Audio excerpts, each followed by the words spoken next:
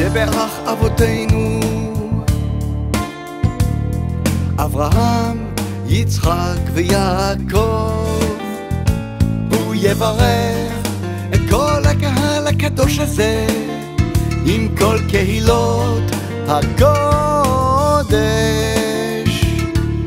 הם ונשיהם ובניהם ובנותיהם וכל אשר להם ומי שהם יחדים בתי כנסיות לתפילה ומי שבאים בתוכם להתפלל ומי שנותנים נר למאור ויין לקידוש ולהבדלה ופת לאורחים וצדקה לעניים.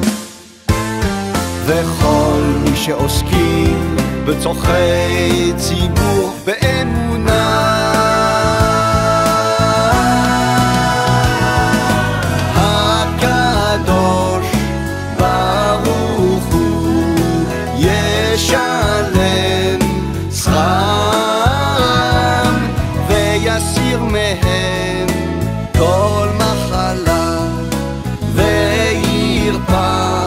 לכל גופם ויסלח לכל עוונם וישלח ברכה והצלחה בכל מעשה.